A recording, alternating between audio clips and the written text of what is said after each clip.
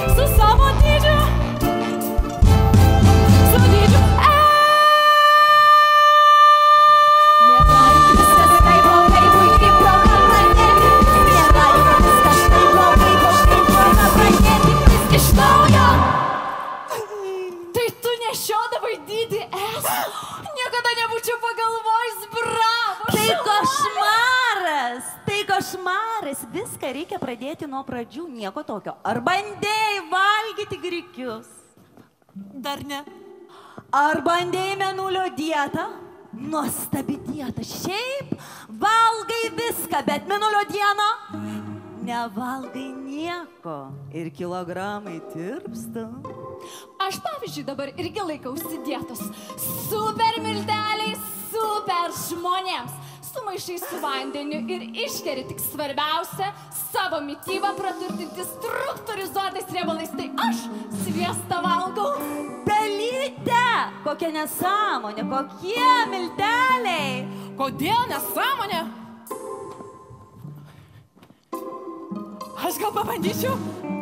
Kokie čia milteliai? Super milteliai, super žmonėms sertifikuoti.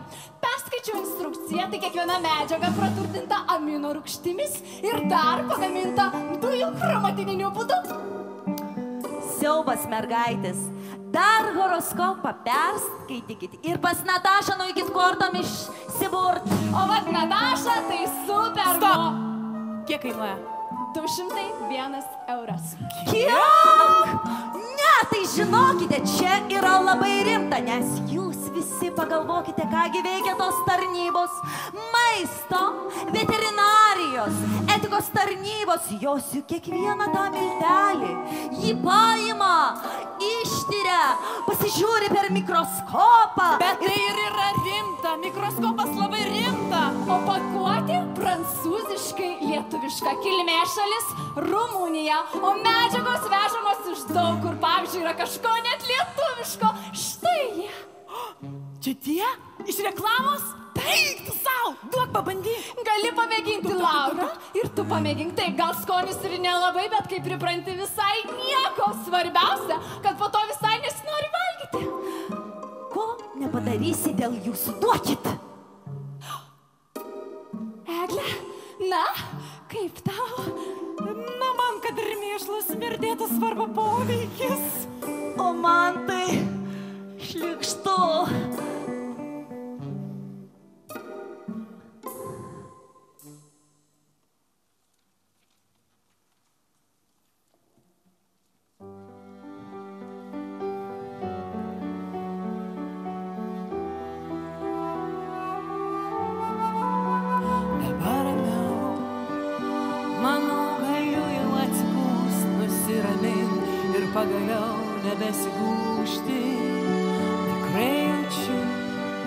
jau greitai viskas pasikeis, riebus košmaras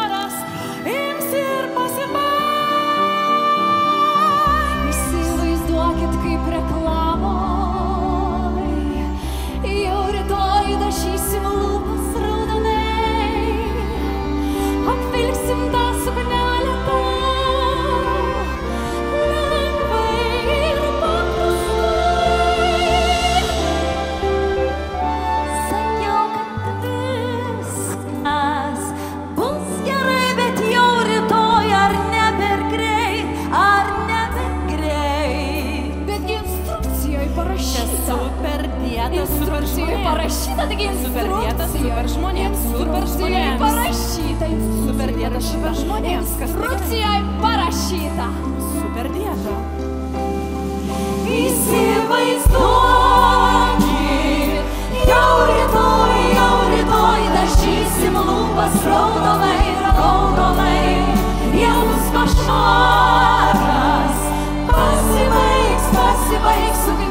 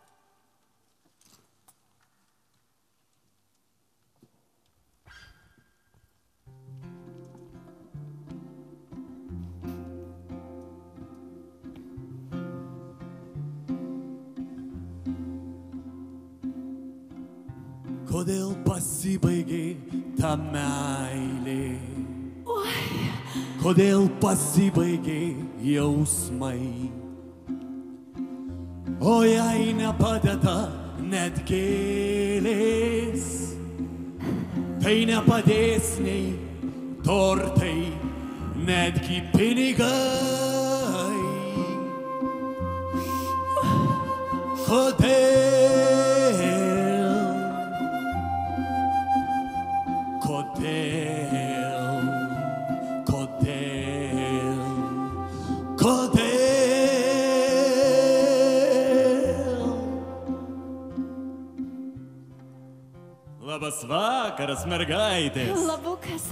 Žavingai šį penktadienio vakarą jūs atrodot? Sakykite, ką veikiate? Kad nelabai ką žinai, taip netikėtai čia atėjai. Kodėl netikėtai?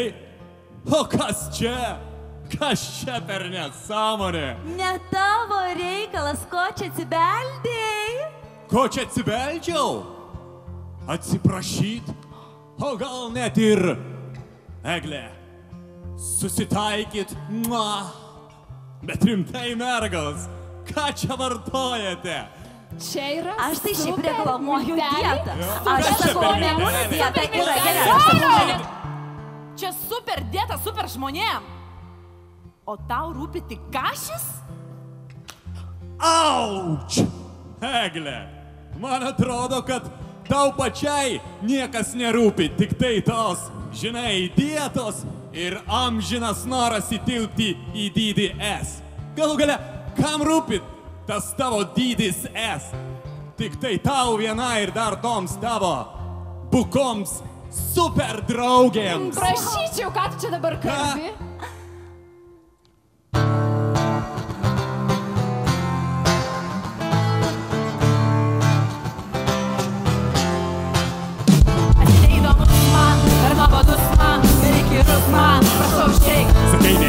neįdomus tau, per nuobodus tau, netikirus tau, leis pasikeist.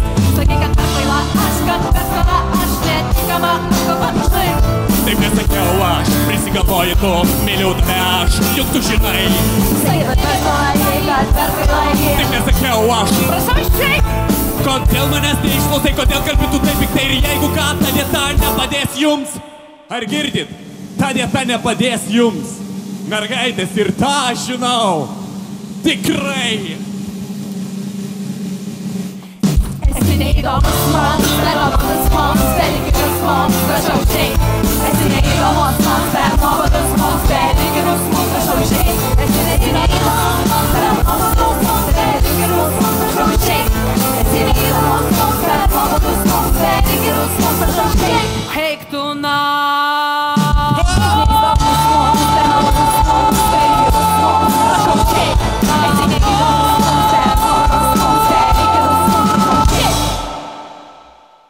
Na šito aš nesitikėjau.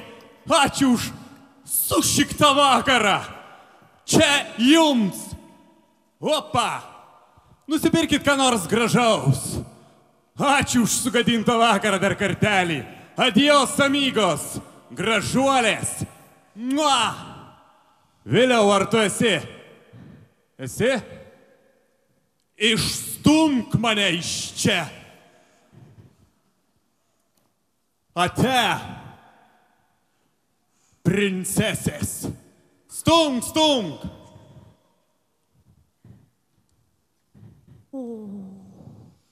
Ha, viskas gerai, labai gerai, viskas Eglė, gerai.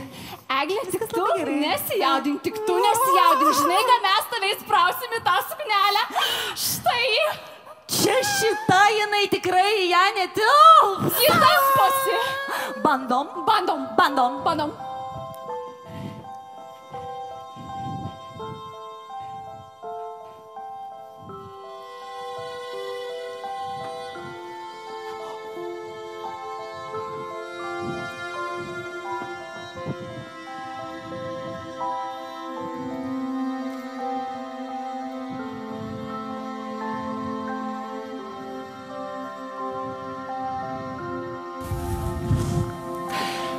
Policijos pareigūnai sulaikė sukčiu ilgai mulkinus ir greitai sublokti besitikinčias moteris ir vyrus. Teisėsauga sudomino internete žaibiškai išplitusi reklama - super milteliai, super žmonėms. Patikrinus paaiškėjo, kad sukčius pardavinėja paprasčiausius miltus, dovanų pridėdamas pripučiamus vaikiškus žaislus. Anot pareigūnų Sauliusės internetinė reklama apmulkino tūkstančius. Tiesa, nukentėjusieji nesiryšta reikalauti gražinti pinigus, nes, na, jiems tiesiog gėda prisipažinti patikėjus tokia absurdiška reklama. Kągi, atrodo, super žmonių ir super miltelių iš tiesų nėra. Gero penktadienio palieku jūsų savaitgalio orų prognozę.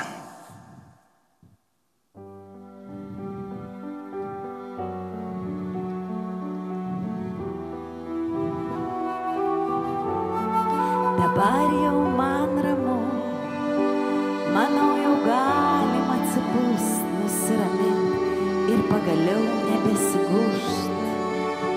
Tikrai jaučiu, jog greitai viskas pasikeis, riebus košmaras ims ir pasibaigs.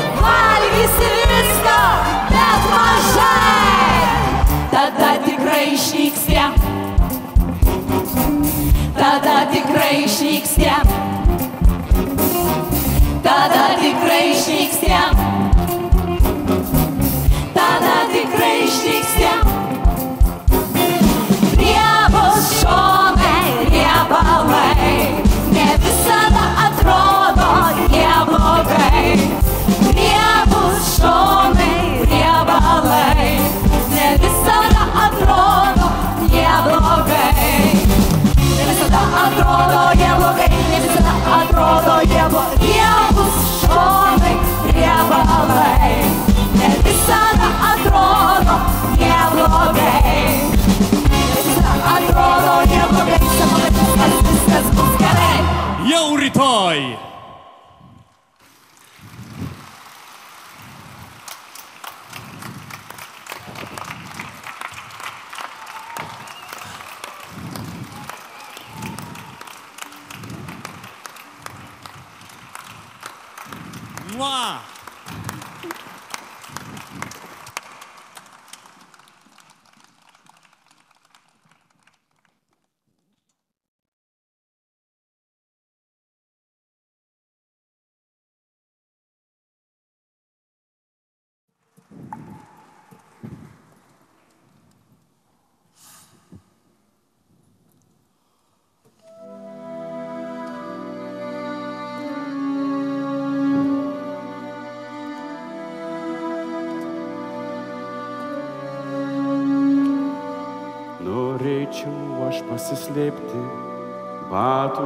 dėžėje, kaip nereikalingas daiktas ir tu noti tamsoje.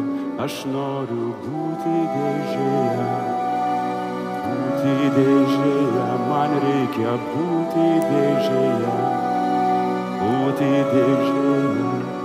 Užkask mane tartum lobį, paslėp nuo piratų laive ir išsiūs keliauti po pasaulį, keliauti kaip brangiausiam sapne. Užkask mane, išsiūs mane, aš noriu būti dėžėje, būti dėžėje, man reikia būti dėžėje, būti dėžėje. Išmesk mane šiukšlių dėžė, aš to nusipelniau. Pamiršk mane, tavęs aš prašau, mum atskirai tikrai bus geriau, aš noriu būti dėžėje, būti dėžėje, man reikia būti dėžėje, būti dėžėje, aš noriu būti dėžėje, būti dėžėje, man reikia būti dėžėje, būti dėžėje.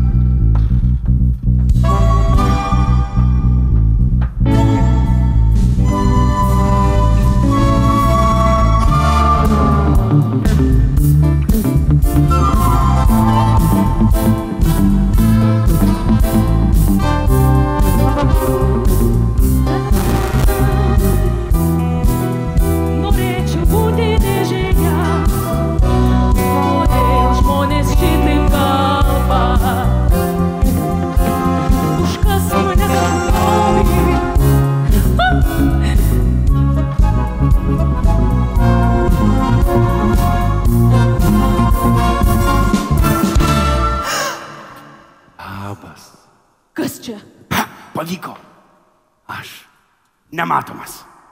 Hermantai? Ką veiki toje dėžėje? O kodėl tu manai, kad čia Herman? Nustok žaisti. Kiek laiko tu ten tūnai? Nelabai. Ilgai. Nepamiršai? Turime to išeiti. Tikrai neplana. Ir ką tai galėtų reikšti? Tu juk pažadėjai gydytojui ateiti. Neplanavau lysti iš šitos dėžės. Žinai, Hermantai, jau visai nebejokinga. Lysk iš tos dėžės. Hermantai.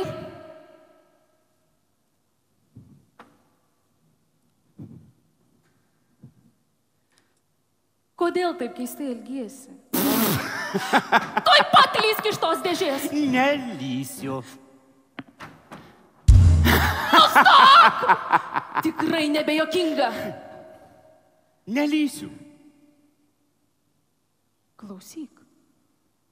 O gal, o gal čia dėl to, kad kažkada pasakiau, tu galėtum gyventi, kad ir dėžėje? Nes jeigu taip, tai žinok, tu mane netaip supratai. Ne dėl to. Tiesiog įsivaizduoju, kad aš. Kad aš. Kad aš baldas. O taip, žinoma. Kaip lengvai viskas išsisprendžia. O taip lengvai viskas ir išsisprendžia. Tai ką, dabar man reikės skambinti tavo gydytojui Achilui ir pranešti, kad netvyksi? Jis labai nusivils. Neskambink. Nereikia. Jaudinėsi dėl savo paskaitos, Truputį. bet aš nesuprantu. Galvojau, kad tavo paskaita ir yra apie tai, kaip suvaldyti baimę. O dabar štai. Tu pats lėpiesi dėžėje. Žinok, ilga istorija. Tai nepasakos, ar ne? nežinau, tai kad istorija tikrai labai ilga. Neturiu tam laiko. Gana. Skambinu tavo gydytojui. Neskambink, maldauju, nereikia. Aš, aš tu viską paaiškinsiu. Na, Tai ne pirmas kartas, kai aš įlendu į dėžę. Nejaugi. Viskas prasidėjo dar vaikystėje. Nuo tada ir pradėjau lankytis pas gydytoją Achilą. Dar vaikystėje kovojau su gyvenimu. Kaip ir kiekvienas vaikas, uždavinėjau daug įvairių klausimų. Bet tos klausimus aš paversdavau baimėmis. Jeigu tave tėvams atnešė gandras, tai kas būtų, jeigu jisai atskristų, tavęs ir atsimti? Arba jeigu aš nustočiau valgyti, ar aš nepradėčiau pats savęs virškinti? Bet viskas pasikeitė, kai pradėjau lankytis pas gydytoją Hylą. Jis man padėjo, arba galvojo, kad padėjo, bet iš tikrųjų sukūrė dar vieną mano baimę. O tada viskas ir prasidėjo. Prasidėjo visos, visos mano probl problemos. Prasidėjo? Tai čia pagerėjimas. Nieko nesuprantu. Sunku taip paprastai paaiškinti. Tiesiog paaiškink. Aš bijau bijoti baimės. Kaip tai? Aš visko bijau ir visada bijojau. Ką tai reiškia? Dar vakar, dar vakar taip išsigandau, kad nieko nebebijau. Pačios baimės. Kai nugalėjau baimę, pradėjau bijot visko. Visko? Absoliučiai visko. Mm. Tai kaip ir viską ir paaiškinau. O kodėl tu slėpiesi šitoje dėžėje? Nes bijau aš. Suprantu, kalbėdamas netrodo toks įsigandęs, bet tai tik tai dėl to, kad esu dėžėje. Tik joje jaučiuosi saugesnis. Vieną rytą mane pažadino mintis, jog pavargau ir nebenoriu būti tuo, ko tikisi iš manęs kiti.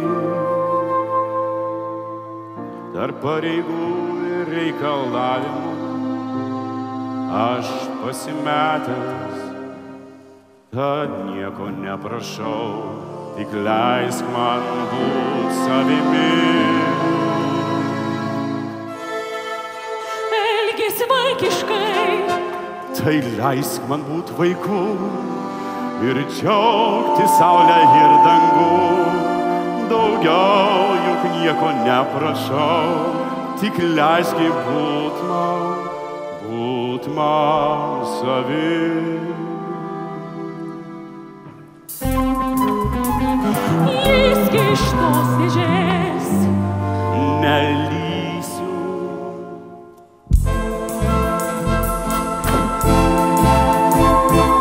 Aš negaliu, nes taip suplanavau, sėdėdamas darbę daug apie tai mačiau.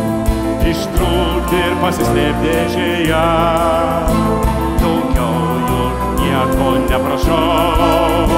Matyti kontūrus dėžės, rodė lyg svaja, atrodė lyg sapnas nuostabus. Būti palaidotam gyvam, mane baisu, sakyčiau nuostabu. Tad leis man būt vaiku ir džiaugti saulę ir dangų. Daugiau juk nieko neprašau, tik leiskim būt man, būt man savimi.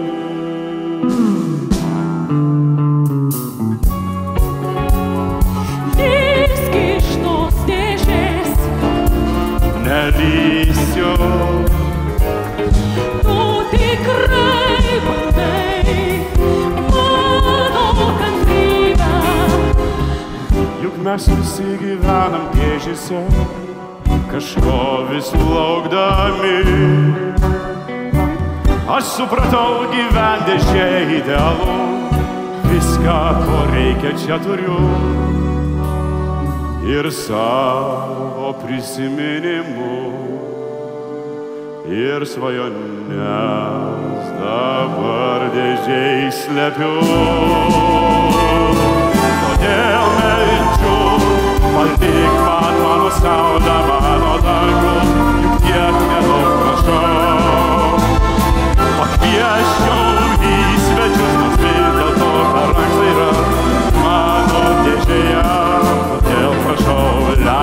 savimi. Todėl prašau, leis būt savimi.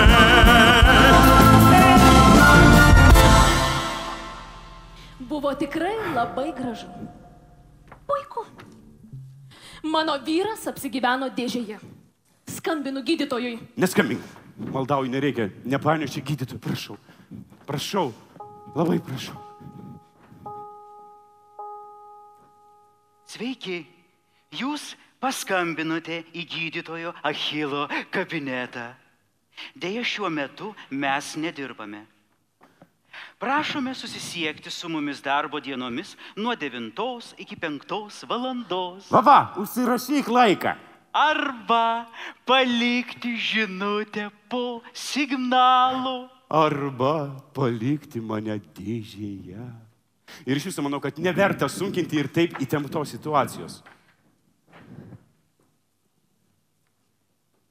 Bet tai kaip prisiskambinti tam gydytojui skubios pagalbos atveju? Tokio numerio jis neturi. Žinau, kad tu tikrai turi tą numerį. Aš gal jį ir turiu, bet tu jo tikrai nerasi.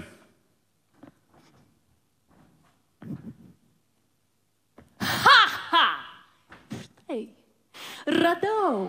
Nereikėjo palikti savo telefono. Šis numeris, jisai skirtas ypatingos, ypatingos skubos atvejams.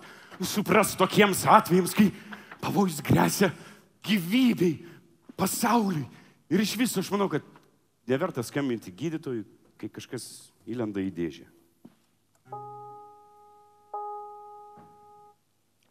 Sveiki, gydytojas Achilas jūsų klauso. Alio, alio, alio, alio. Sveiki, gydytojų. O, sveiki, kas nutiko Norėjau pranešti, kad mano vyras pasislėpė dėžėje. Dėžėje? Kągi suprantu, suprantu. O ar jums patinka dėžės? Ne, gydytojau, čia ne man. Čia Hermantui, tai jis slepiasi dėžėje ir atsisako iš jos išlysti. A, bijojau, bijojau, kad tai gali vykti.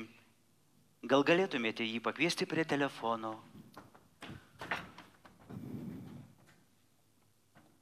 Jis nori su tavimi pasikalbėti. Atleiskit gydytojų, jis netidaro dėžės. Kaip ironiška. Sakykite, ar jūs ką nors žinote apie savo vyro praeitį? Na taip, jis man pasakojo apie savo baimės. O sakykit, ar jisai jums viską pasakojo? Iš kur man žinoti? Suprantat, kaip gydytojas profesionalas, aš su jumis neturėčiau šito aptarinėti, bet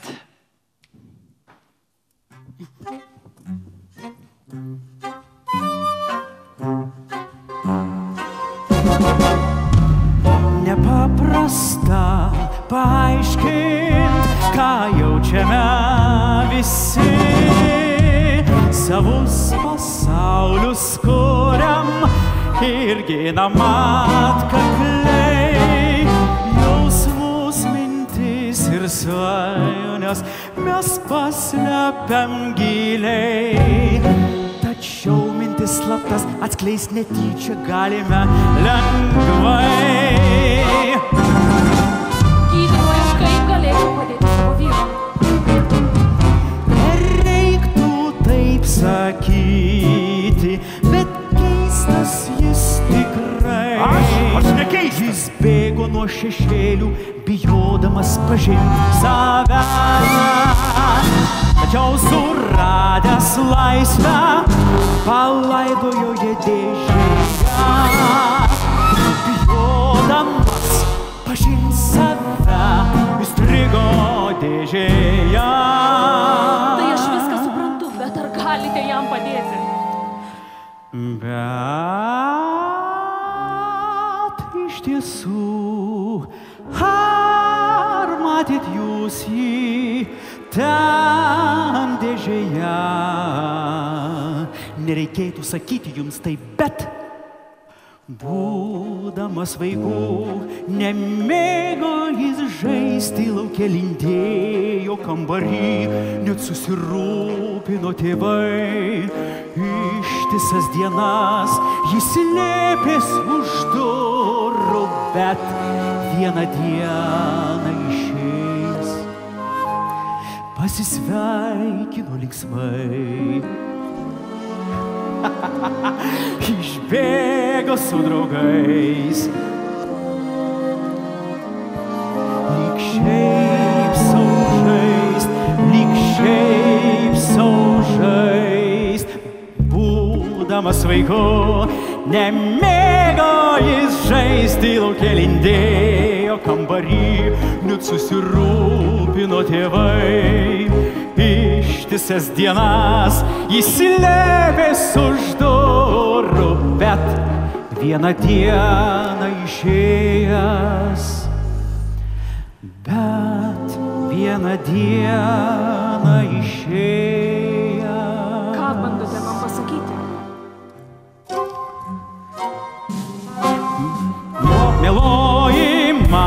juk tai, ką akivaizdu, padėti jam, jo baimės nugalėti gali dėmesingu. Tikrai mačiau, bet žada jis dėmė gyventoliu. Ne jau? Tikrai? Tikrai. Tad leiskit, leiskit, leidžiat Na taip, veikti man.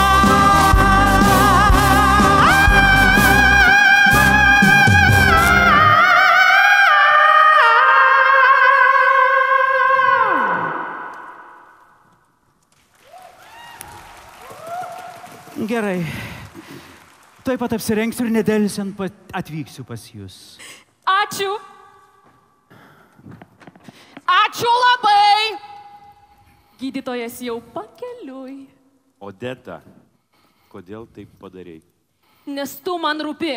Jei aš tau iš tikrųjų rūpėčiau, būtum palikusi mane ramybėje. Kokia nesąmonė. Viena didžiausių nesąmonių, kurias esi man pasakęs. Lysk iš tos dėžės. Hermantai, aš labai pykstu. Labai. Puiku! Einu pas kaimyną, pasiskolinsiu kirvį ir išlaušiu tą prakeiktą dėžę, supratai?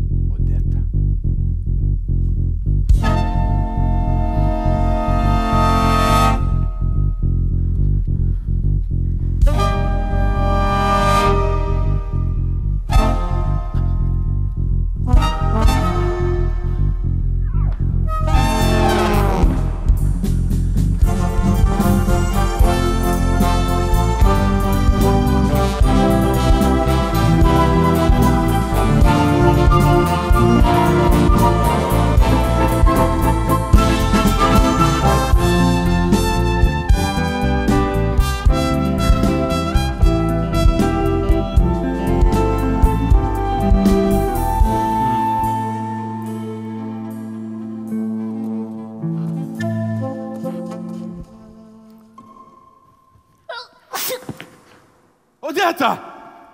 Nejokinga. Maldauju, maldauju, aš nežinau, aš neišgyvensiu. Viskas tik tavo labui. Atleisk, atleisk, aš nenorėjau būti aš nesukalbamas. Odeta, maldauju, išlyk. Nelysiu. Aš prašau, aš daugiau, aš daugiau nelysiu, aš daugiau pas nelysiu į šitą dėžę. Nelysiu. Įsivaizduok, kad aš esu tiesiog baldas. Oi, labai jokinga. Gerai. Ką man dabar daryti? Gerai. Mhm. Odeta, kada išlys iš dėžės? Tai, kad čia man labai patinka. Dabar suprantu, kodėl ir tau čia tai patiko. Odeta! Čia visko yra. Odeta! Nieko savo. Tu turi mažyti šaldytuviuką. Neliesk jo, čia man. Su mažyčiais putelučiais. Odeta, maldau. Kaip čia švaru ir tvarkinga. O, kažką išpyliau ant tavo žurnalų. Maldauju, Odeta, išlys. Nieko tokio. Jau radau kažkokį seną rankšluostuką.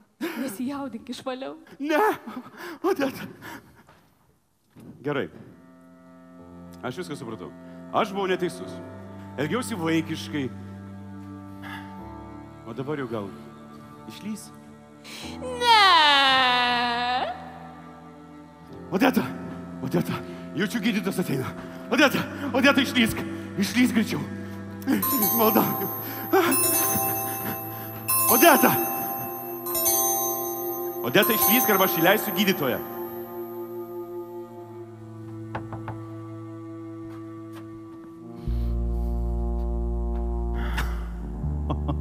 Sveikas.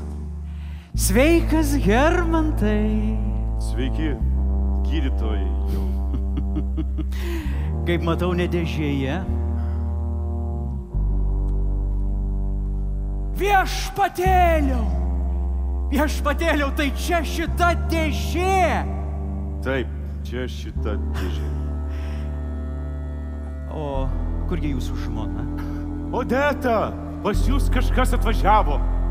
Labadiena, gydytoja.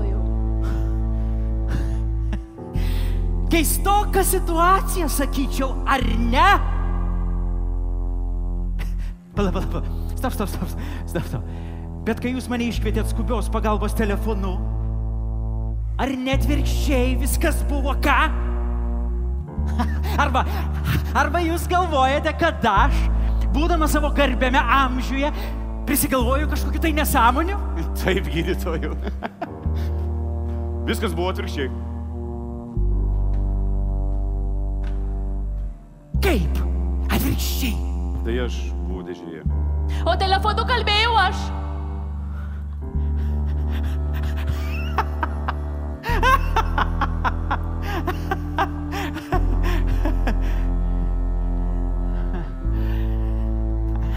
A, tai jūs, tai jūs mane erzinate.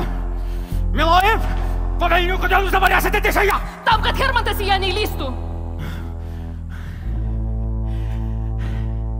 Nagi, Hermantai, sakykite, brangusis, kaip jūs dabar jaučiatės? Ar jūs vis dar kamuoja mažytė scenos baimė? Gydytojų, jūs pats viską puikiai žinote. O, žinau, žinau. Hermantai, mums laikas. Mes pavėluosim, žiūrėkit, jūsų paskaitos laukia tūkstantinė minė. Ne, o kaip, kaip mano žmona?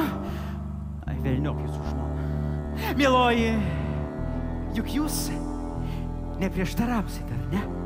Oi ne, tikrai ne. Odeta, Odeta, išlysk iš tos dėžės. Hermantai, prašau, mes pavėluosim. Ne, aš be žmonos niekur neįsiu.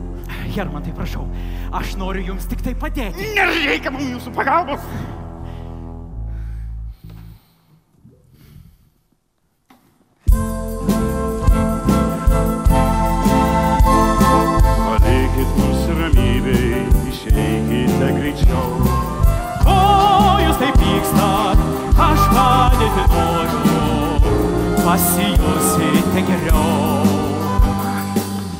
Patartas jūsų aš ilgai maščiau apie savo problemas. Daug savo laiko praradau, jokios šviesos, ar džiaugsmo dėl jūsų nemačiau. Būtumėt mažiau kalbėjęs, o paklausęs išvalgų mano, tai šiandien tos dėžės nebūtų reikėję. Atleiskite, prašau, gal pamiršot, aš dėžėje esu. Ir jūs labai gerai girdžiu. Išlyskite tuoj pat, praradot sveiką protą, nėra čia ką kalbėti. Išeikite, jei reikia laiko. Ar taip svarbu, kur yra dėžiai jauku, dėžiai saugu, apmąstymams geriausia aplinka.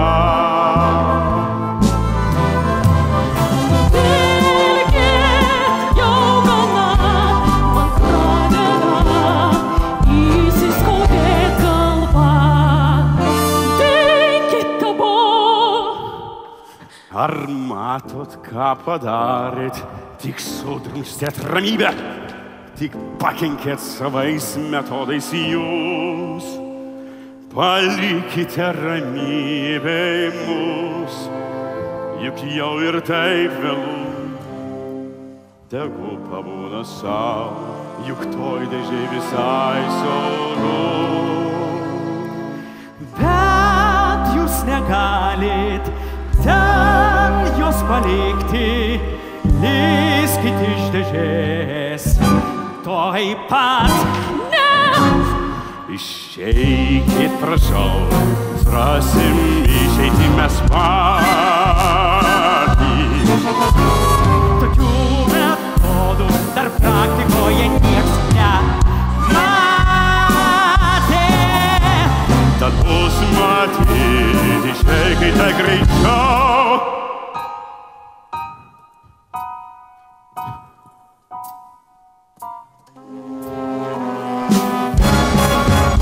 Palikit ramī.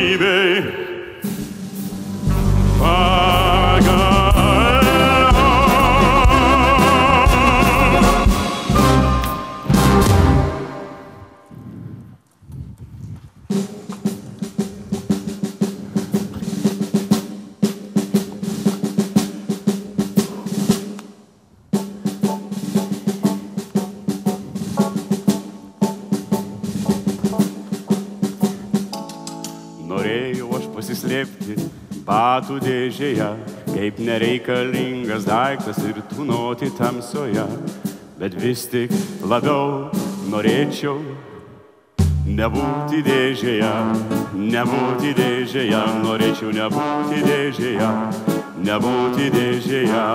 Užkas mane tartum lobį, paslėp nuo piratų laive, išsiųst keliauti po pasaulį,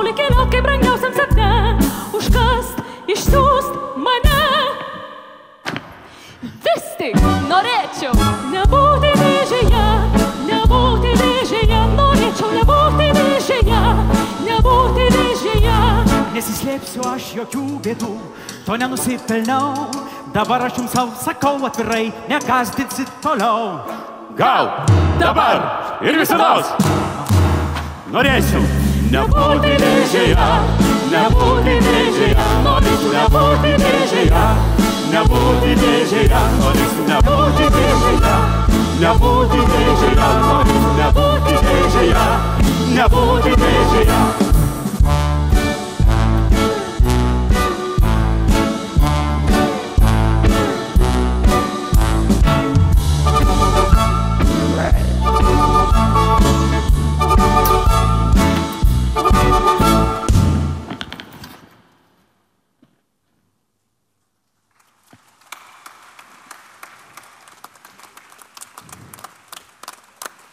Gydytojau, o kaip jūs dabar jaučiatės?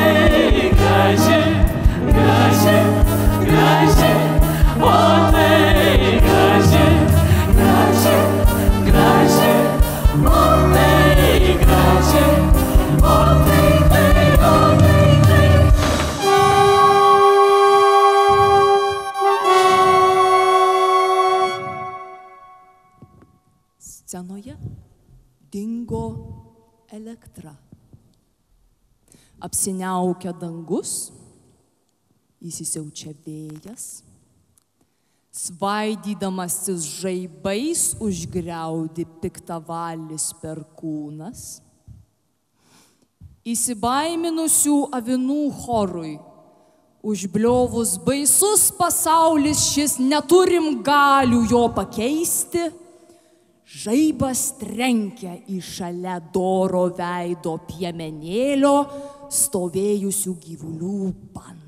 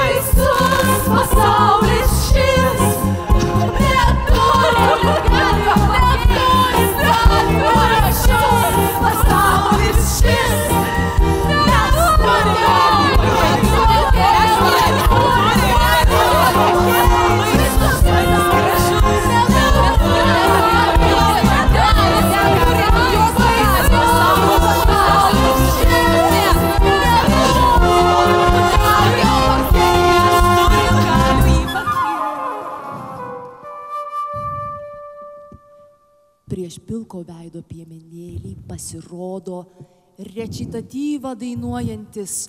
Buvai šaunus ganytojas, ar nenorėtum siekti daugiau pilkasis kardinolas. Visai gražus dramatinis tenoras, bet kartais neprigirdi. Jo šešėlis vis ilgėja ir ilgėja. Pilkasis kardinolas iš šešėlio išlenda netikėtai ir visi supranta, kad jis juos seniai stebi. Iš šešėlio išlindęs pilkasis kardinolas pasirodo visai malonus, bet pavargęs.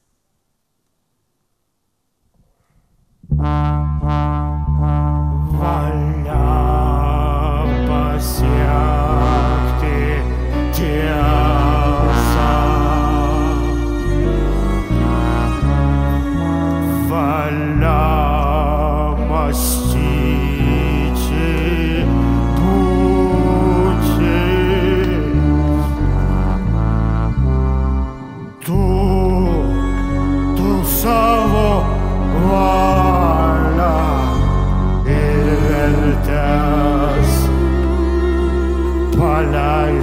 It tape ce.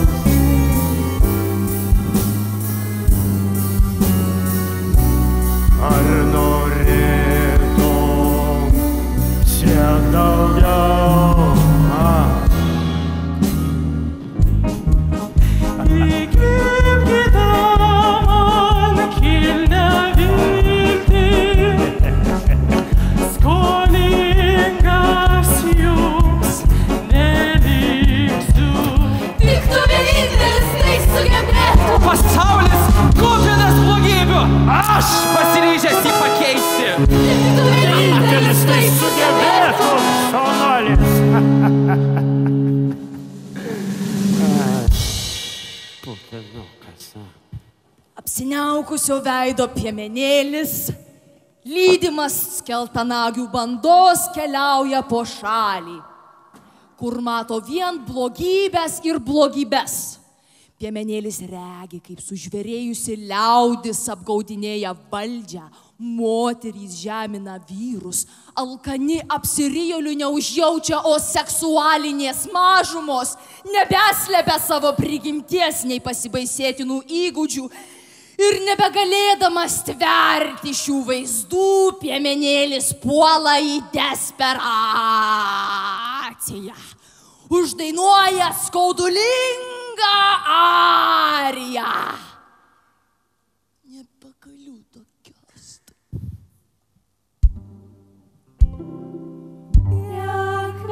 Tiek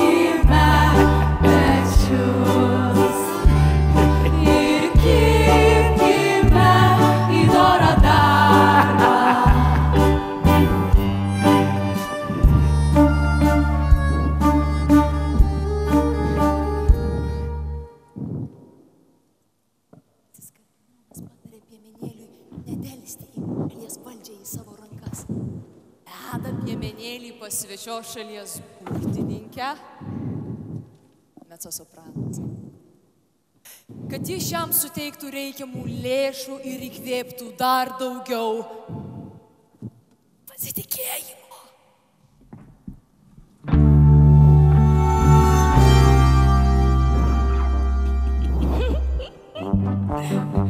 Koks tavo planas? A, Atsikeliu ryte. Toks mano planas.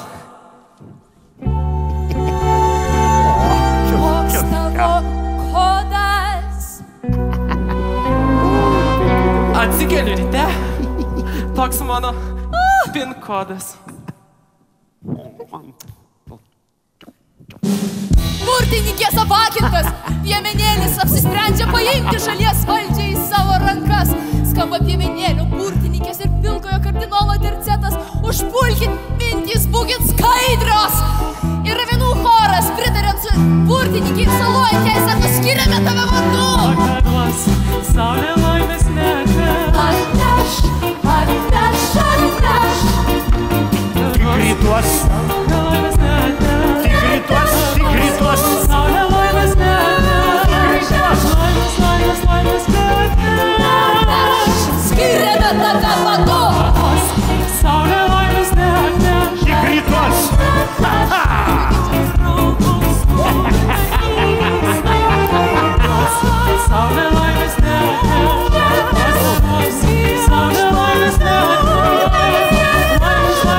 Let's go.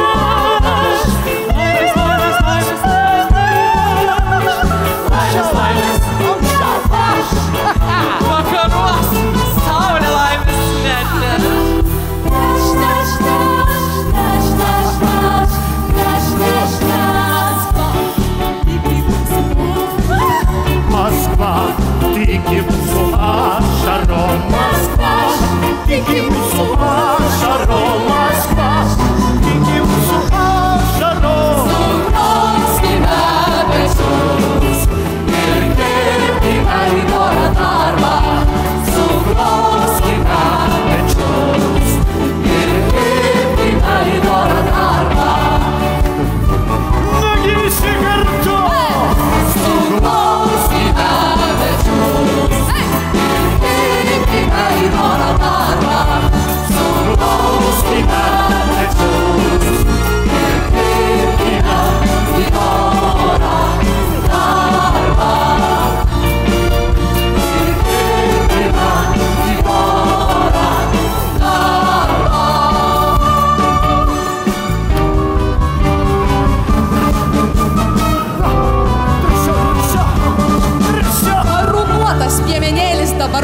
Pabaisa, nes tapo svetimos valstybės įtakos agentų. Rimu auklėja ir deda tariamos kelios durų savo šalį. Pataikūnų choras diriguojamas burtnikis iš Kremliaus. Sako, sušerkite skaudžiau.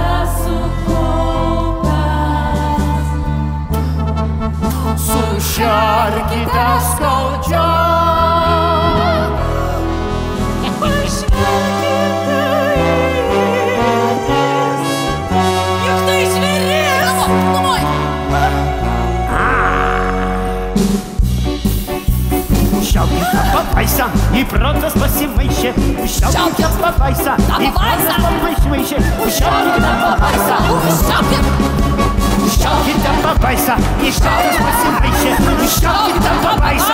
Estradas para se mexer. O choque da cabeça. Estradas para se mexer. O choque da cabeça. Estradas para se mexer.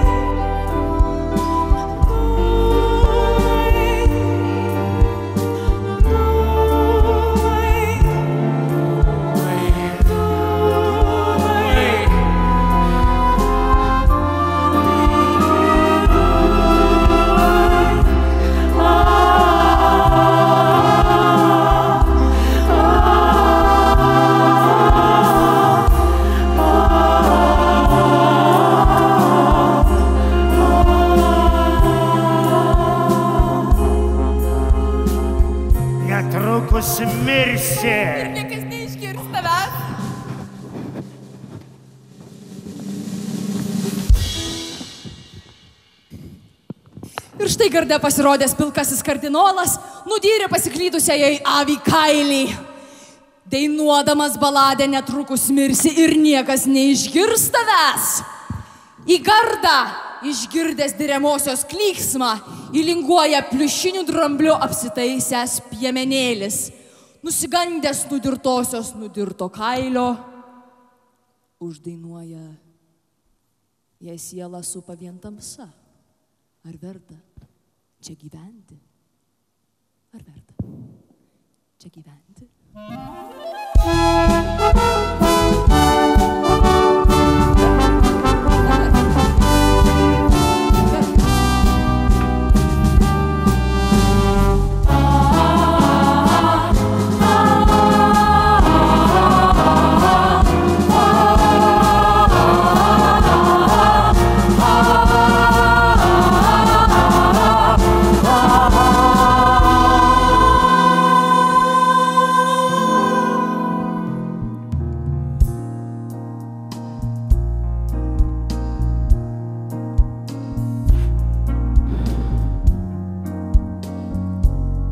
Arrivederci, Chegivante.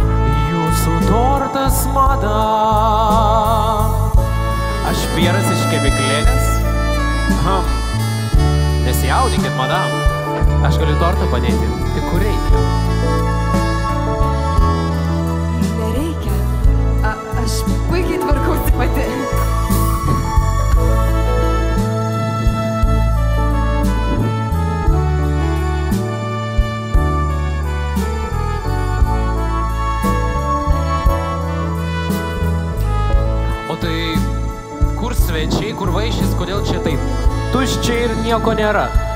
Štai pinigai ir dinkit. Mm, madam, Pieras norėjo būti tik tai malonus. Dinkit. Nepykite, ponė, šiandiengi jūsų diena. Aš žinau, jūs kai šypsotės, jūsų lūpos pražįsta. Mm, kaip šitos lėlės.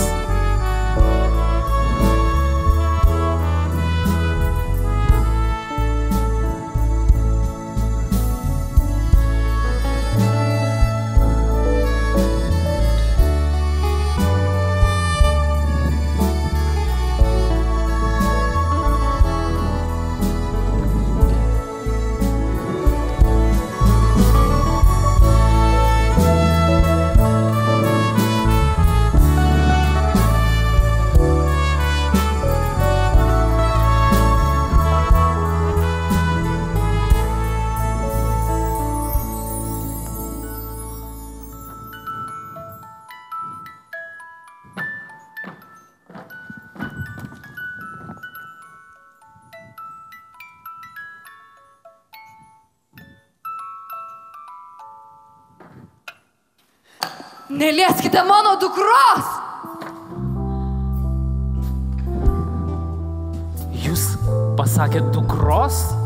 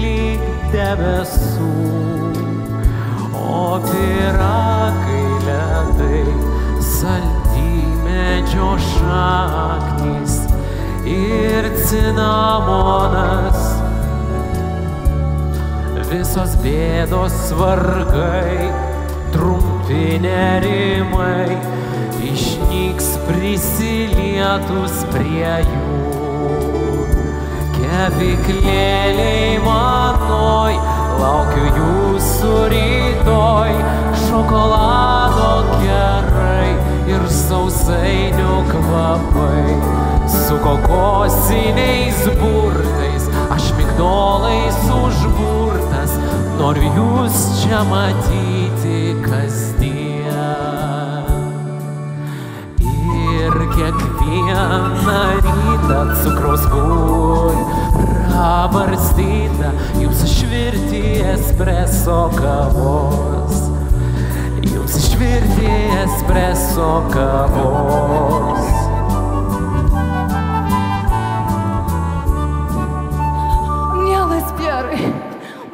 Gera kartu. Ir be tortų, ir be bandelių. Bet jums ne vieta pasilikti čia. Čia skleidžiasi lyga.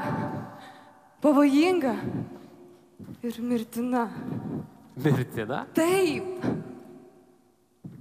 Aš sergu. Bet jums geriau nežinoti to.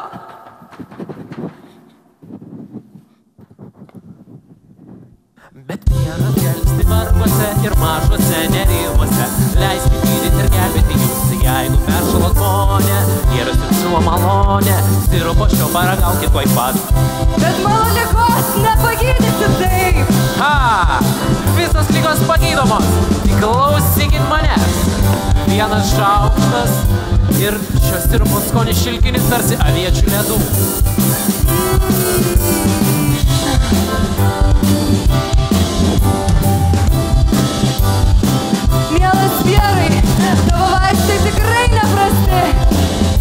čia ne peršalimas, sloga ar kosulys.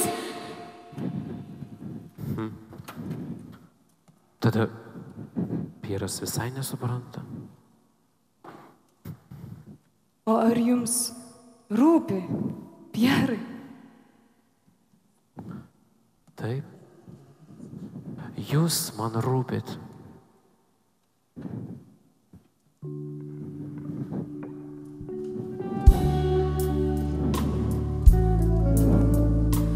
girdėjai apie lygą? Ji vadinasi Lelija. Hmm. Lelijėlė. O kaipgi ne? Parduotuvė jų pilna. Ehm, tai sausainiai su glaistų mėlynėmis ir spangolėmis. Ne, Pierai. Ne tai, ne, ne, ne. ne. Tada pasakykit, Lelija, tai labai reta lyga. Ji reta tarp žmonių, ji graži, bet be galo liūdna. Užsikrėsti lengva, pasveikti vaistų nėra. Nužudyti jūs gali besiskleidžianti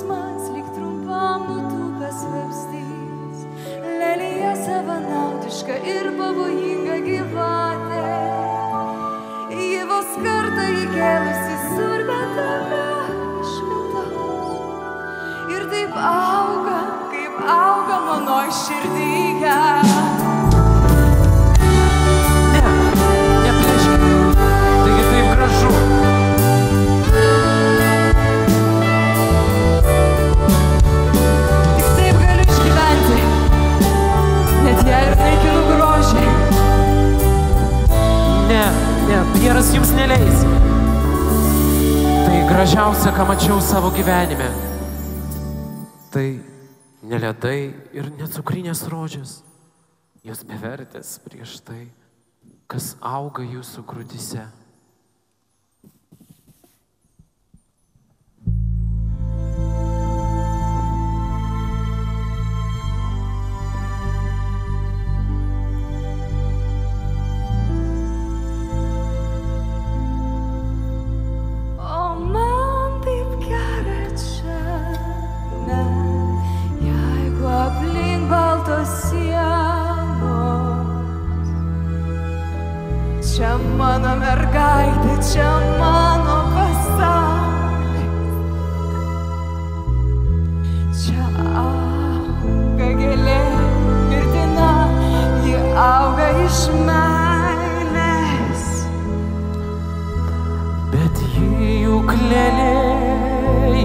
твоем.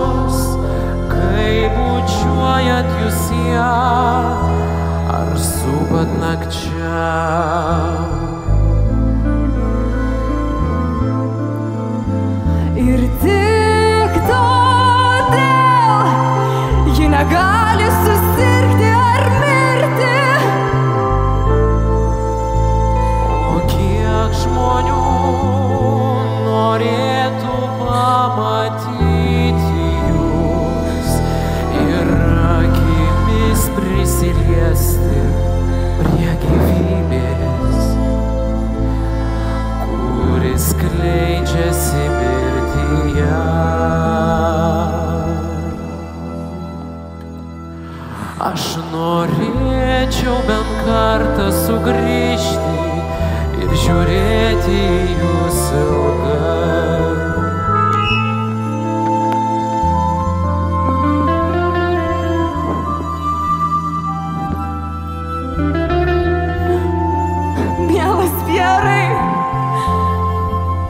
Aš negaliu tau nieko žadėti.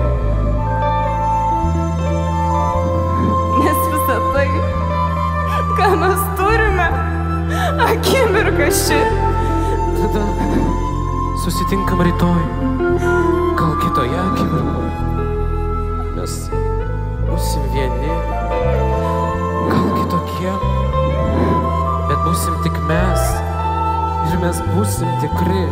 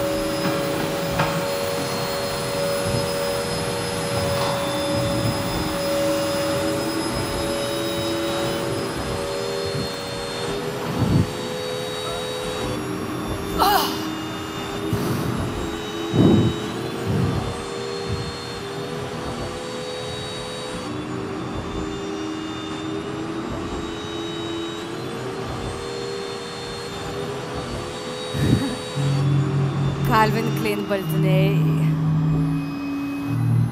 Mmm, kvepia Chanel. Aš taip savo patinku. Ah. Aš tiesiog pavydžiu savo, jie, jie. Aš save kramtau, aš save išuostau.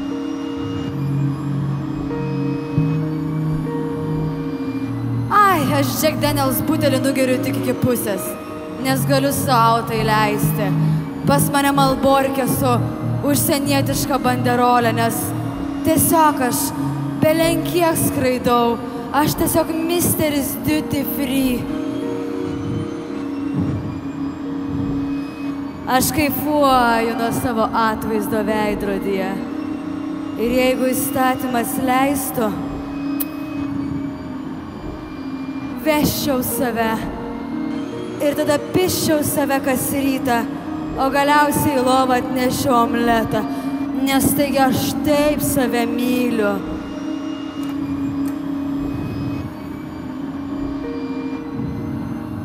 Bet iš tikrųjų, aš esu toks pat gandonas, toks pat kaip tas gandonas išmestas į gandonišką šiukšliadežę.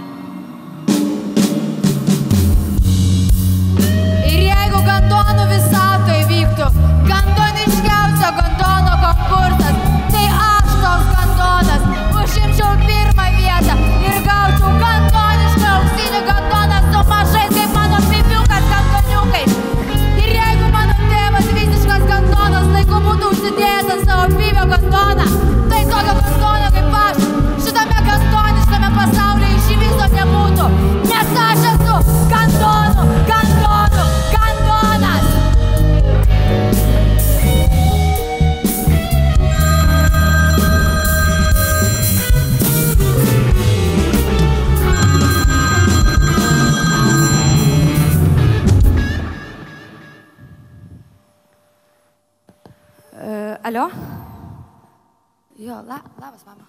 Aš labai negaliu kalbėti dabar, aš stutkiai, įrašinėjom albumą jo. Jo, jo, jo. Kas nutiko? Įrašinėjom albumą, visa grupė susirinkus, sakyk, kas nutiko. Neturiu kada žiūrėti teliką. Aš įrašinėju, taigi albumas gruodį išeina, nu. Ką per teliką rodo? Greta? Koks kanalas? Mhm. Tai visą laiką gerai atrodė. Jo, jo, jo, aš girdėjau, kad rožinė yra madinga, taip. Kokie ten jos papai? Nu, Taigi žinai, kad jis įstatė tuos papus, nu. Jo, gerai dainuoja, aišku, fantastiškai. Mama, aš nevalgau mėsos. Baklažanai, gerai, baklažanai, gerai. Ge- Nebeturiu laiko kada kalbėti.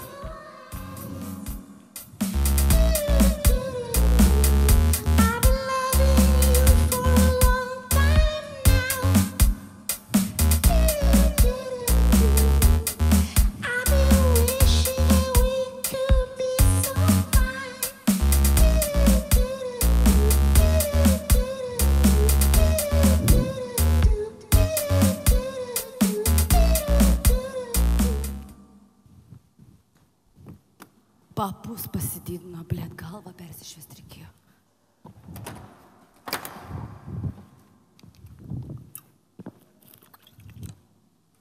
Tyri, tyri, kai angliškai kalbėtai moka, kai dekanui čilpia, tai tikriausiai tylėjo.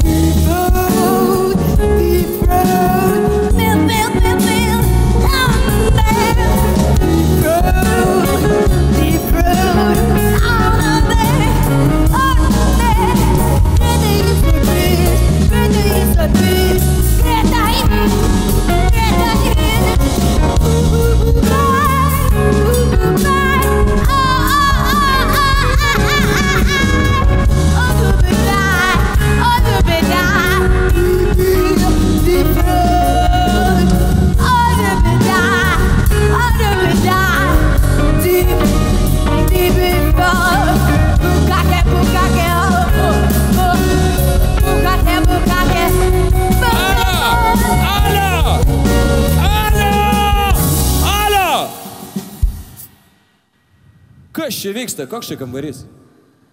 53. Uh, aš tai 20 minučių baigsiu, jūs nueikite į receptioną, pasimsi traktą, galėsit įsikelt po 20 minučių. Įsikelt, aš jau trys dienas gyvenau. Klausyk, tu su mano marškiniais. Aš radau ant žemės esu. Tu, tu dovanoju, pasilik, klausyk, davai, sutvarkom viską greitai, ne? Ir išeinam.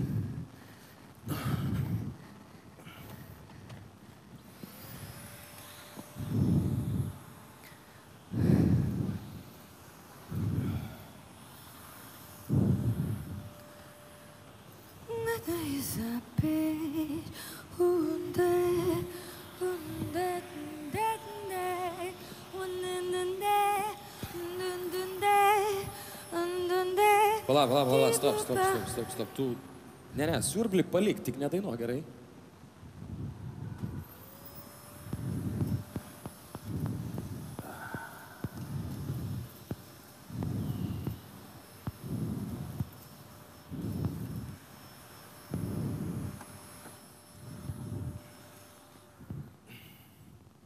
O kas yra negerai su mano dainavimu?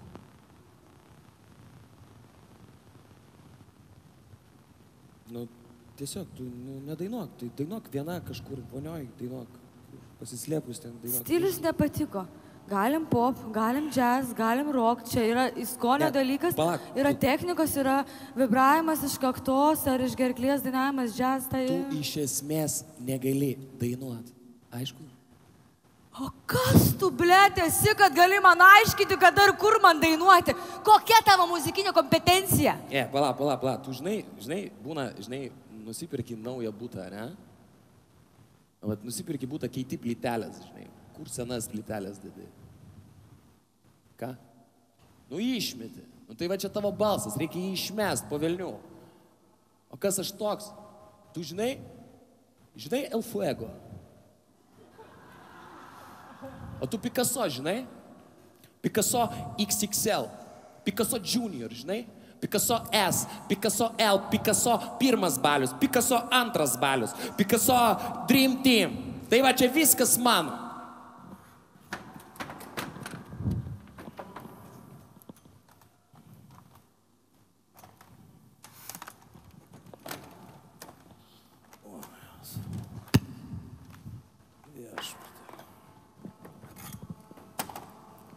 Improvizavimas visų pirma yra aukščiausia meno forma, aš abejoju, ar nors vienas tavo Picasso išžyvis yra bandęs improvizuoti. Išeinam, einam, išeinam, einam, einam, išeinam. Toks žmogus kaip tu, aš likiu, kad gyvenime nieko nepasiektų iš Eik viso. nachui!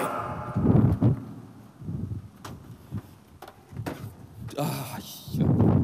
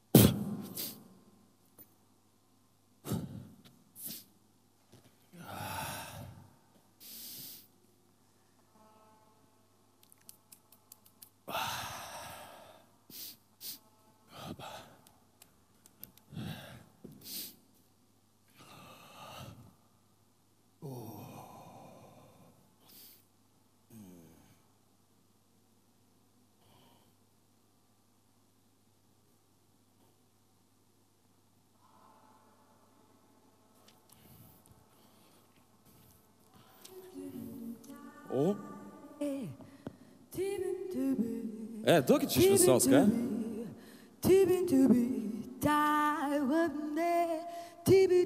O? Eina. Klausysis, ką tu čia sėdi? Davai, pagrok kažką.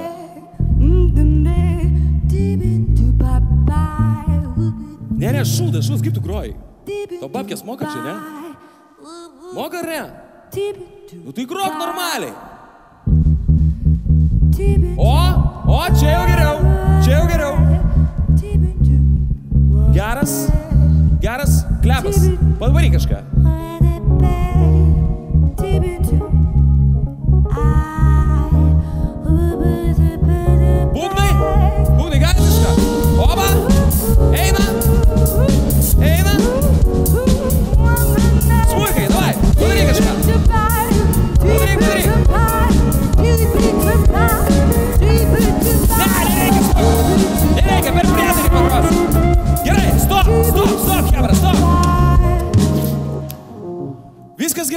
Biški velkasi kažkaip.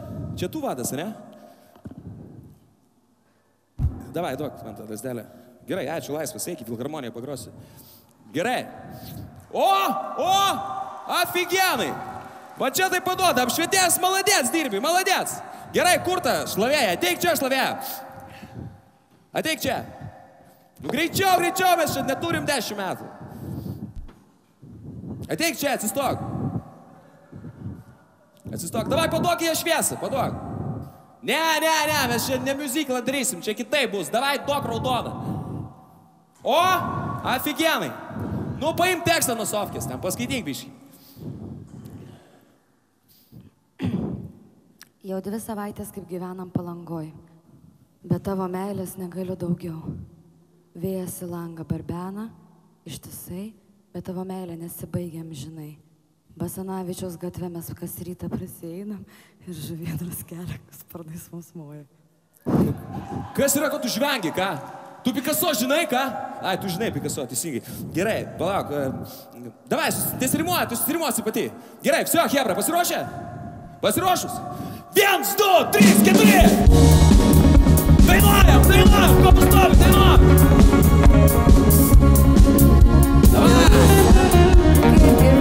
palangoj, bet tavo grožio negaliu daugiau. Vėjas langą barbena ištisai, bet tavo meilė nesibaigia amžinai.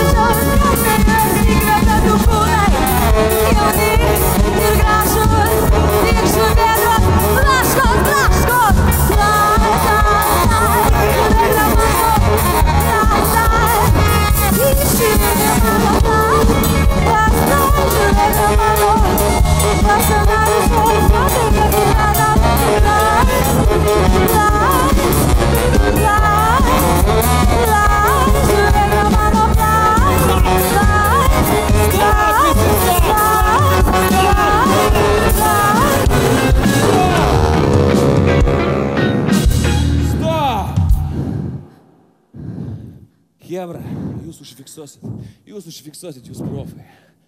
Mažutė, pasirašom su tam sutartį. Tik papus pasididinsi.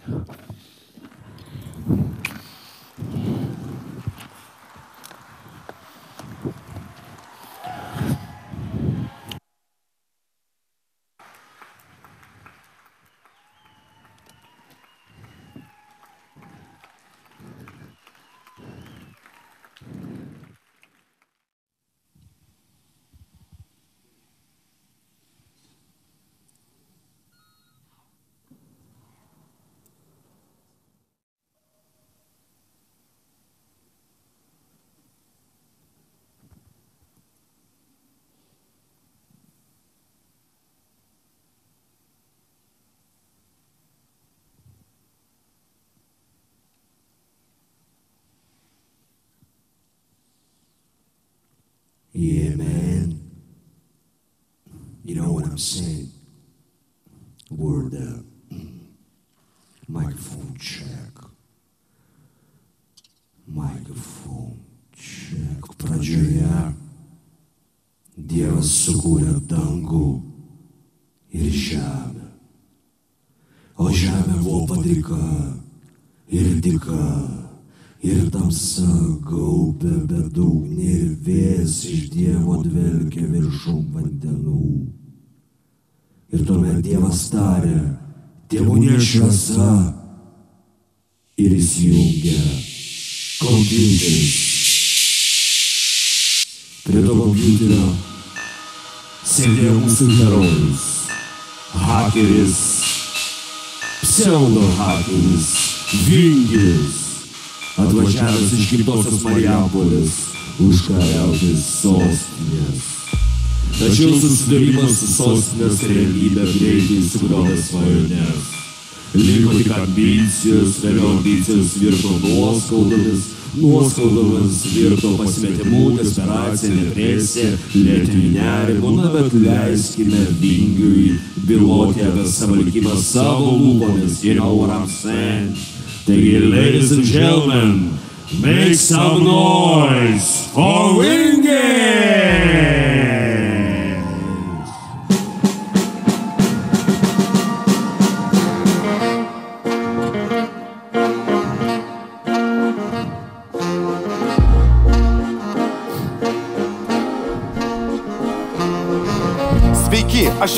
Man 20 keli. Tačiau gyvenimo susukti į džantuką negali praleidęs kaime vaikystę tarp vežių. Aš atvykau į sostinę statyti laimės dėžių, kur žmonės pasijėmė paskolų. Lavonais tampa banko kapinių. Tačiau iš pradžių man sekės neblogai ir iš dangaus už gerą darbą birėjo pinigai. Nors daugeliu jie atrodžiau aš kaip tikras kaimėtukas. Prasisukau, tapau kiečiausias bahuriukas. Teta užleido būtą, kol močiutė slaugė kaime. Ir suradau aš paną mielą Lietuvaitę. Gyvename mes sostiniai kaip inkstai taukose. Nieko mums netruko humana ar dolčeliuosai. Kaip tik norėjau, galėjau aprengti savo paną, kai tik tai išeidavo mintis. Davėm, davėm garo, geriausi vakarėliai, geriausia mašina. Kas kad leasingo reikėjo, fakčiausmo kaina nemaža. Tačiau istorija taip ėmė pasisuko, kad į Europą krizė ekonominė užsuko. Su savo rezultatais eidama, subankrutavo firma, bledingo ir pana. Žinau, amžinai tai nesitęs, bet taip norėjosi šau. Tu neturėsi manęs, aš neturėsiu tavęs. Tu neturėsi manęs, aš neturėsiu tavęs. Tu neturėsi manęs, aš neturėsiu tavęs. Tu neturėsi. Lietui linojant, šlapias kaip šuo, einu su paskutiniais vilties likučiais. Gal namo, šaldytuvė kurio likti dar viena dešrelė, kurią kaip ir mane paliko negaminanti panelė. Fuck that shit.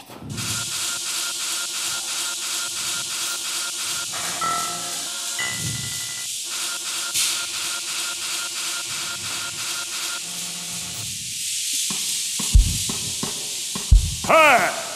Hei! Ei, kas tu toks? Sielos vadovas dvasinis gyduolis. Kas toks? Kas toks? Nereikia rėkti, taip nereikia rėkti, jaunuoliai. Čia mano chata, jeigu ką. Žinau aš puikiai adresą Sodomos ir Gomoros. Ko, ko? Hormonų ar gondonų? Ko reikia tau? Ko reikia? A, Aš suprantu, jog ne visi išprūsę ir ne visiems jų sielos rūpi. Tačiau tuštybė turi savo kainą. Kai laikas apmokėti ateina, daugelis apeiti bando ir sistemai susipainioja. Todėl aš pasakysiu tau tvirtai, kaip atsiustas dangaus ir Dievo tarnas, į nuodėmę įkritusi pasaulį. Nuo ištvirkimo nebeišgelbės tokia ten saulė. Tai tu išmokė šių inspekcijos ginuolį. Dabar klausyk manęs jaunuolį.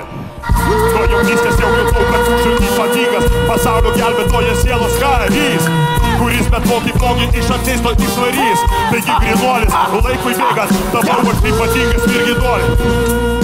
Nuo chemijos pamokose visi man rodė špygą, tačiau kaip iš širdies aš dievinau tikybą. Ir šitą mano meilė veltui nenuėjo. Sulaukęs 18 buvo pasiūstas dangiškojo vėjo, kuris pasakė, Juozai tau dovanoju stebuklingą galę. Eik ir gydyk žmonės, ir tuos, kurie prašys malonės, ir tuos, kurie per savo kvailumą nesuprato sielos apsivalymo gerumo. Ir viskas, viens ir du, viens ir du, ir šventas, nors dar tada aš jaučiausi kaip tas šventas, bet jau galėjau suvaldyti savo protą, nes ką tik panorėjęs aš galėjau padaryti tiek kuprotų, tiek bokso ringė nugalėtojų galiūnų. Praeinam sielos sensą po perkūnais, praeinam, praeinam, praeinam sielos sensą, praeinam sielos sensą po perkūnais, praeinam, praeinam, praeinam sielos sensą, praeinam sielos sensą. Vingi, tu pasiklydusi avelę, matau, kad abejonės tau trukdo pamatyti kelią. Todėl aš pasakysiu tau kaip savo broliui, man šitiek yra tekę, pakelt ir pastatyti ant kojų, kad o dieve, susidarytų armija šventųjų, kurie kadais dar norėjo savo kūnus pavesti tikrąją atnešavimo tvirtovę, o viskas baigės tik vartojimo vergovė ir pamatau. Jau ką tik supratai, kad nepadės, net pinigai ištiesinti gyvenimo duobių. Į vieną, ką tik tu giliausiai įkripai. Ir tai jau faktas. Tiesasis net už mano kataraktą. Štai kontraktas. Na vingi, laukiu. Pasirašyk. A.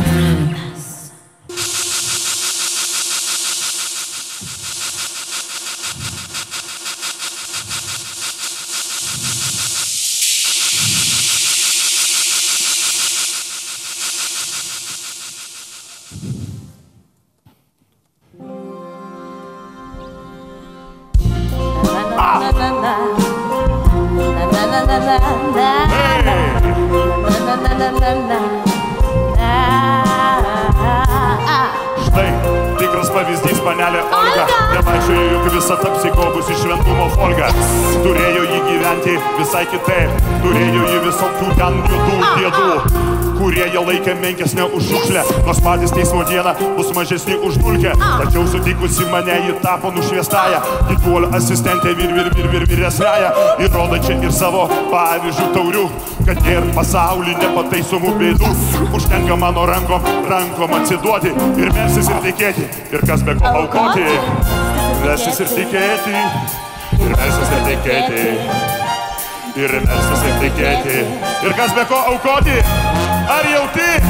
Yes! Gyvenimas nemielas, kaip amžinas pakėlas. Gyvenimas nemielas, kaip amžinas pakėlas. Gyvenimas nemielas, kaip amžinas pakėlas. Gyvenimas nemielas. Labas vingi, patikėk galimybę nors ir tingi. Pakeisti karmą lyg valstybę, ji tau iš talo spindi. Kaip emigrantas, kuris patamsi sielą randa. Kaip yra klasis, juk tarsi turi teisę susirast panelę. Taip pat vinės tu pakabinsi seną kelią. Kai paltą nudėvėtą, mes apvalysim ir pakeisim sielą tavo į nušvietimą, į nirvaną. O jei nenori, mes išeisim ir niekad, niekad nesugrįšim. Ir nekankinsime tavęs, nors tai atrodo tau kvailystė. Ne, ne, ne, aš nieko, nieko nesakiau. Dar niekur neikit, neskubėkit. Aš jūsų taip prašau, aš jūsų juk prašau.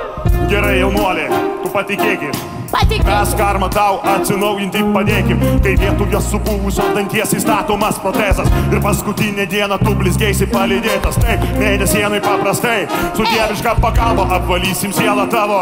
Ei, kai veš vežimą teismo šimtas vienas vilkas ir visi bijos, kiekvienas vingis savo ramiai bujos. Matau, kad jau galvoji, kaip tai padaryti. Kaip tai padaryti? Kaip tai padaryti? Galiu be vargo, jaunuolį tau, imk ir atsakyti. Aš iš dangaus tranzitų gaunu kosminę galybę, kuri jau šitai surėdyta, kaip laisvinamieji nuo parazitų skaldo kūjų tą plytą. Ji tave kaip mažą kūdikį apsiaučia ir tu atsiduri toks šventas štai čia. Kosmoso tikrovis stiklo, nepažeidžiamas kaip kogas titano namuos. O, aš nežinau nuo ko pradėti. Už tai mes ir atėjom tau padėti. Už tai mes ir atėjom tau padėti.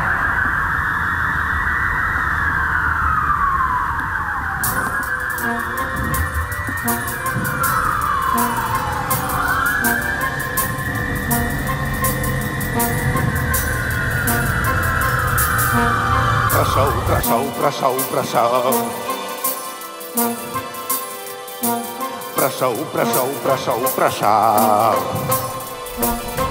Prašau. Netikiu sūnau, prašyk labiau. Prašau, prašau, prašau, prašau. Kur gailestingumas sūnau? Prašau, prašau, prašau, prašau, prašau, prašau. Tikėjimo akise sūnau reikalauju. Prašau, prašau, prašau, va, va, va.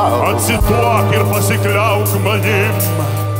Prašau, prašau, prašau. Tai ko tu nori, šilumos jėgos vakarais panoramos, lovos šiltuos pataluos, minkštuos pataluos, porno žurnalų. Ko tu nori, tikėt, kad socialinė gerovė atneš tau banko tai sąskaitą ir sugulovė. O ko tu nori, apsistatyti daiktais, nelik tvirtovę, tikėt amžinai kylančių rinkų gerovę, taškykis pinigais, kupiūromis valytis antrą galą, tikėti, kad turtuoliai vieno kraujo gengas, kad jiems gera. O ko tu nori, ko tu nori, ko tu nori, pakeisti savo sielą akcinę bendrovę. O ko tu nori, ko tu nori, ko tu nori, pakeisti savo sielą. Ne, ne, ne. Visi prasmenga pagira ir Samsung siurblys ir Sony televizorius ir Panasonic radio imtuvas. Vat gaila tik grotuvo, bet ne, ne, ne. Tegul visi prasmenga pragare. Ar mes tik nepamiršome iPhone? O Dievas mato, kaip man skauda, bet tegul visi prasmenga pragare, nes visko atsikračius man nieko nestinga. Ir jeigu iš tiesų tai atvirai galiu jums pasakyti, visi prasmenga pragare. Per tiek daug daiktų ir tiek kvadratų, tu išsikrausi, kiek tik tai negaila ratų. O kol kas tau siūlo medituoti ir moteris sveika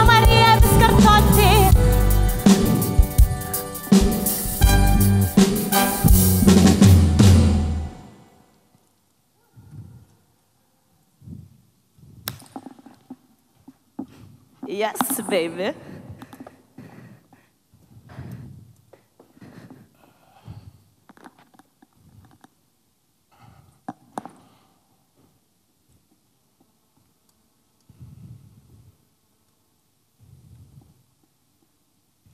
Labas, mama! Kas čia? Vingelis? Eik tu savo! Taip, tas pats. Paklausyk, mama, aš tau tiek gerų dalykų turiu pasakyti. Palauk, patildau televizorių! Mama, tau tuoj nereikės jokių televizorių. Gal ir tave atvyks giduolis apvalyti. Kas kas? Gražuolė? Pagaliau ir tau pavyko pauną susirasti. Ne pana, nušvitimą. Kalbėtų apie Vilmą? Ne, apie sielos pakilimą. Kokį dar kilimą? Iš Ikėjos? Oi, mama, aš dabar suprantu, kad ir tave užvaldė prekių panacėja. Kalbi kažkaip keistai, sunau. Kas naujo? Reikėtų ir tau nuleisti materializmo kraują. Ką? Tikrai nebegirdžiu. Kas Vilniui vyksta? Mačiau per vieną serialą, kaip šarlatanas iš kitų saudaros peną. Kokį penį, mama, jai tikrai su galva negerai. Ją reikia gelbėti. Dar minutė ir mama bus amžinai pražuvus iš tvirkimo liepsnuose, nes jau velniai prie durų baladojasi. Apie kokią žuvį tu šneki? Čia ne pietums kukuliai. Iš keulienos jeigu ką. Pabrango jautinos mėsa. Gerai, mama, aš viską supratau. Aš atvažiuoju. Bet taupant laiką, tu man padėk, supakuok daiktus. Visus išmesim, netgi klėtį galim padėk, ten raganų. Blogų energijų vieta, ten sekso scenos vaidenasi, jei ką. Eik jau! Vaidenasi? Kas čia per pazalai? Oi, mama, tau iš tikrųjų negerai prislėgus tave daiktų našta. Mamyt. Nu, Kam tas notaras, ką dabar Ką Pas šneki? notarą eisi, mamytė, kad atsikračiusi tų žemiškų nekšybių namą kosminiai energijai galėtum užrašyti. Turbūt sunau tu išprotėjai. Gal tu girtas? Ne, ne, netoks likimas tau paskirtas, o namas bus kosminės vilties bažnyčia. Čia ne kokia tau eilinė gryčia. Einu išgersiu valerijonų, man nelaiko nervai. Mamytė negirdėjau nepadės. Reikia diedas. darželį ir avėti iš esmės, mama.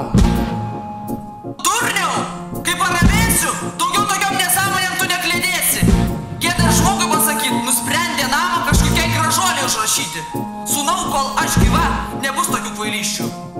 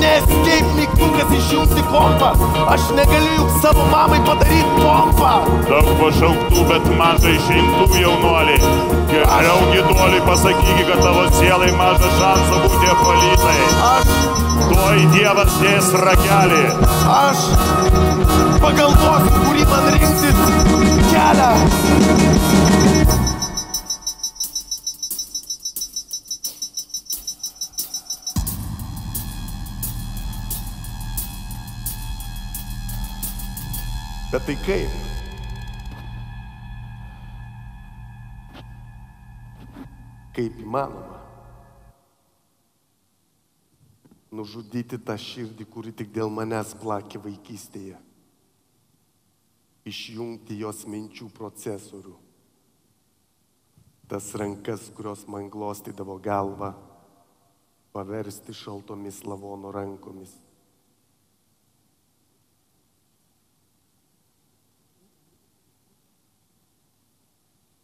Uždaryti jos akių ekraną. Kaip tai įmanoma? Yra milijardai kompų, hardų, procesorių. Bet mama tik viena. Kaip man ištrinti savo atminties plokštę? Kiekviena motina tarsi mozė. Ji nežengia į pažadėtąją žemę, ji paruošia pasaulį, kurio daugiau niekada nematys. Tai beje pasakė popiežius Jonas Paulius 123. O tu niekinga žemės kirminė dar leidi savo abejoti. Na, jeigu nori išgelbėti pasaulį, tai pradėk nuo artimųjų. Degink artimuosius paskutinę teismo dieną, o neseiliokis. Jeigu išlaisvintum jos sielą laisva, plasdento ore, neprislikta materialinių grandinių, tai ką tu nori ją amžiams dabar pasmerkti, vergauti kažkokiam daiktų kalėjime? Neklausyk, tu tikrai nesupranti, kad ją slegia tas namas. A? Tu teisus. Pirmiausia, reikia nužudyti išdidumą, Jo, jo, kvailybę, Na taip, žinoma. prisirišimą. Teisingai. Aš būsiu drasus karys. Aš save užprogramuosiu. Aš dabar pat važiuoju į Marijampolę. Marijampolė. Palaukiu nakties. Nakties. Pasiimu Kirvi. kuris stovi Malkinėje. Aš einu į namą. Užlipu į Antrą aukštą. Į Mamos miegamąjį. Cak! Ir nukertu mamai galvą. Cak! Ir nukapoju jai rankas. Cak! Ir nukapoju mamai kojas. Viską sudedu į maišą ir pakasu odą. Išvalau kraują, persirengiu kitais rūbais. Aš esu naujasis antžmogis. Man tiek nebaisu, kad aš tampu naujoju viešpačiu Dievu.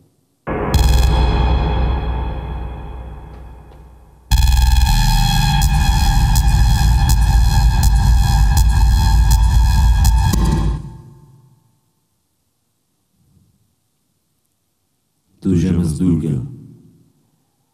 Galvoju, kad gali pergramuoti pasaulį iš savęs padaryti aukštesnę būtybę prilykstančią Dievui. Tačiau tu liksi žemės dulkė, kaip gimėjai hakeriu, taip ir mirsi hakeriu. Nulaužinėk kodus, uždarbiauk naktimis, programos tu nesukursi, naujo restartinimo tu negausi. Aš esu tavo tikrasis ir nenuginčiamas Dievas, aš esu dirbtinis intelektas, kuris išgelbė žmoniją ir tokius kilnus kaip tu. Kai pasieksime aukščiausią technologinį tašką, pasieksime nemirtingumą, nesvarbu kur bebūtum, ar Afrikoje, ar Naujanuose. Todėl sakau tau, neturėk kitų dievų, tik mane vieną. Ir va tada mes pažengsime tiek toli, kad toliau jau nebeįmanoma.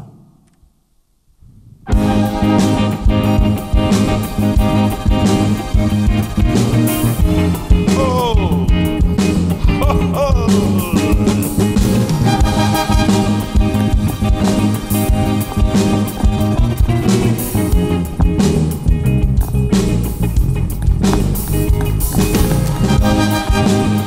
Ah, ah.